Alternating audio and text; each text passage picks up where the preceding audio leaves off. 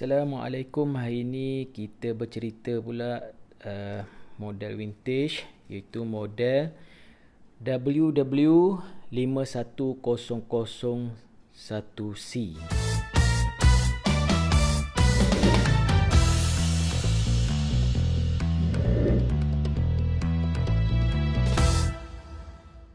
Ha, Japan B. Ada nombor siri uh, jam yang memang tough uh, hard case dan back case daripada stainless steel. Ok model ni dirilis pada bu, tahun 1983 uh, sama rilis dengan model ni. 5000 1B ni dan 5000 yang ni. 1A uh, dia sama uh, rilis pada tahun yang sama Iaitu kalau model ni dirilis pada bulan November 1983. Kalau 5100C dia ada yang grey, ini grey lah dan lagi satu white dia punya display ni. Ha ni, glass dia. Okey. Dan dia ada lagi satu WW5100C9. C9 tu gold version, yang tu pun rare juga. Uh, nantilah kalau saya ada yang tu saya akan buat review eh. Yang tu pun rare. Dia punya gelas ni. Ni gelas ni. Gold. Ha, gold. Dia punya display LCD tu pun. Uh, gold lah. Keemasan. Okay. Kenapa model ni dipanggil WW? Sebab mostly G-Shock punya model DW. Kalau yang model-model vintage lah. Dia start DW. Kerana dia adalah menggunakan modul yang wide range temperature punya yang tahan low temperature sehingga negatif 30 darjah Celsius. Ha, modul dia memang tahan sejuk. Ha, modul yang digunakan ialah modul 491 200 meter water resist juga. Okey. Hmm, apa lagi ya? Cerita-cerita pasal modul dulu lah. Modul 491 dia lebih kurang dengan modul 240 eh. Kita tengok modul 240 modul 240 ialah modul di model DW5200 yang dikeluarkan setahun selepasnya. Ha. Dia sama je modul dua ni. Ha. Apa yang sama dua ni dia sama-sama tak ada bunyi. Ha. Mode ni kecuali apabila kita masuk certain certain features contohnya contohnya stopwatch ataupun alarm. Okey, bila kita masuk stopwatch ni ya. Ha, kita tekan tu baru dia ada keluar bunyi. Dia berbeza dengan modul-modul jam baru. Dia, kita tekan button mode pun dah keluar bunyi. Ha, yang ni tak. Ha. Okey, tu dia punya beza. Ni, tekan ha, baru dia keluar ni. Tapi modul 491 dia ada beza lagi dengan modul 240 nak tahu beza dia ha, apa dia? So kalau beli jam ni beli modul apa jam WW 5100C ni nak tahu betul ke dia punya modul tu uh, modul 491 dia beza dengan 240 takut beli-beli rupanya modul 240 okey beza dia ha, kalau modul 240 dia ada light. Ha, yang ni tak ada light. Memang tak ada lampu. Ha, itu je dia beza dia. So kalau beli ada orang nak jual WW5100 ha, check kat situ lah. Takut terbeli yang lain semua WW5100 tapi rupanya modul dah tukar 240 ha, itu dia. Tapi okey juga dapat yang 240 tu ada lampu Cuma dia tak tahan sejuk lah. Tapi kat Malaysia ni nak ke mana sejuk sampai hingga negatif 30 darjah Celsius. Okay. Hmm. Okay yang lainnya. Uniknya jam ni. Ni memang tahun 1983 memang rare lah. Kan? Nak dapat pun susah lah. Yang unik jam ni dia punya kelas ni. Ha, memang berbeza dengan model-model lain. Dia sama juga dengan model 5800. Ha, dua-dua ni gelas berbeza. Ni ada garisan. Berbeza ni dua model yang berbeza lah dengan model-model petak yang lain, model-model petak vintage yang lain. Okey, yang ni beza dia ada garisan ni. Dia nampak kelas kat situ. Yang ni dia punya gelas tu ada garisan tebal macam tu. Ha. Compare dengan DW5000. Ha, garisan ni kan kecil je. Gold kecil kan. Ini dia punya ni tebal garisan dia. Garisan kat gelas, garisan tepi mengelilingi gelas tu. Okey. Itu dia punya keunikan lah. Okay.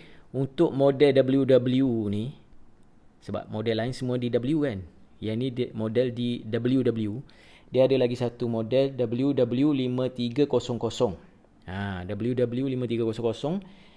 Uh, dikeluarkan setahun selepas model dikeluarkan. Iaitu pada bulan 12 tahun 1984. Model ni keluar tahun 1983. Dia keluar tahun 1984 modul pun yang sama modul uh, yang tu modul 481 ya 491 ah okey um, tapi dia bukan DW5300 kalau DW5300 yang petak sado tu ha, yang tu di WW5300 dia pun sama untuk low temperature punya ni ketahanan dia. Okey beza pula uh, BNB model ni dengan model-model moden petak yang moden adalah dia punya bezel bezel yang ni dia flat semua. Kalau bezel model yang baru dia ada timbul ni bonggol ni. Dekat G-Shock dengan protection punya ni. Okay, dan dia punya skru bezel ni pun bezel. Kalau yang baru jenis skru bunga tu. Philips ke apa yang panggil? Ha, yang ni straight je. Skru ni pun susah nak dapat ni eh. Skru ni pun susah nak dapat kan ni. Lagi satu BNB lah. Ya, BNB pula. Band. Band pun berbeza. Yang ni band ada dekat lubang ni ada petak pula. Yang model baru tak ada petak yang tu dan dekat dia punya uh, lock ni dekat sambung dekat atas ni dekat dekat api nak sambung ni apa benda yang panggil ha, yang ni dia ada dua je uh, dua part ni je yang ada lekuk ni yang ni sampai ketiga sampai kat sini pun dia ada lagi. Ha, itu cara nak membezakan. Hmm, bateri guna bateri 2320 ha, bukan bateri 2016 ataupun 2025 ataupun 2032 yang ni tebal je tapi dia punya perbezaan kan 2016, 2005, 2032 ni dia punya ketebalan. Tapi dia punya kelebaran tu berbeza. Ha, macam 2320 ni dia punya ni lebar. Ha, dia punya diameter dia tu lagi besar. Ha, tu dia punya beza. Okey kita tengok dia punya ni lah. Function model modul 491 ni. Backcase ada serial number ya. Japan B yang ni. Ni tadi time ni stopwatch, ni timer, ni alarm. Ha tu je dia punya ni. Memang basic je. G-Shock vintage punya features. Ha dia tak ada bunyi kan. Ha tapi bila kita masuk stopwatch punya ni baru dia ada beep. Okay. Ha tu stopwatch. Kalau nak pause tekan ni. Okay, sambung balik kalau nak lap tekan yang atas ni beza dia lap ni kita stop dekat 5 kan bila kita, kita dia sebenarnya running dekat belakang kita tekan balik dia dah start ke 12 kalau kita tekan pause ni ha, dia pun start masih dekat 16 lagi ha, okay. Nak reset reset kat situ. Tekan atas ni balik.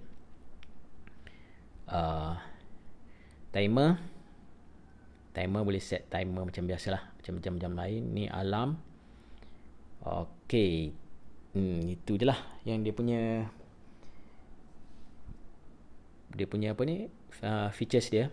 Mode dia. Mode yang ada time stopwatch. Basic je lah.